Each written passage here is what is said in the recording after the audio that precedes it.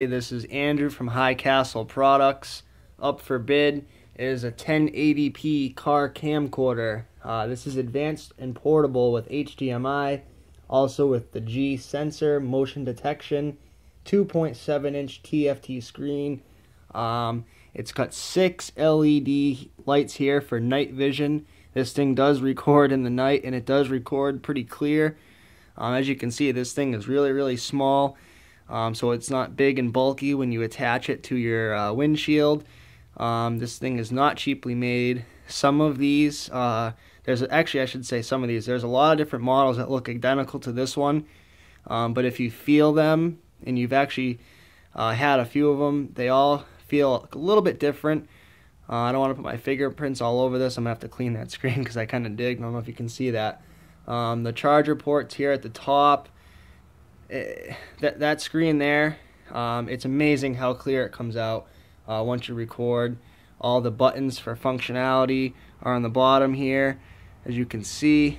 Um, a really good camera for the price. I, I don't know how you can beat it. I mean, it, it's amazing how how great the quality for everything is and how cheap and inexpensive it all is as well. Um, here you can see the car charger here still in the bag. I didn't want to take everything out. Here's the suction cup holder um, for the windshield and the wire here. You can see there. Um, so again, it's HDMI capable. Um, here's the blocks. There are different colors. We only have black available at the moment. However, if this is popular, as we think it's going to be, we will order different colors. Uh, blue, gold, and black are the standard. Um, it has the functions here on the side. Um, with the information about the lens, the zoom, the LCD, uh, LCD display, night vision, picture, audio, G sensor, and so on. Um, so that's all there.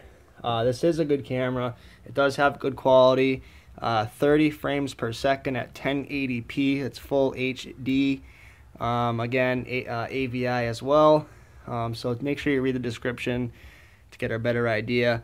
Um, but that's it right here. Nice small HD uh, dash cam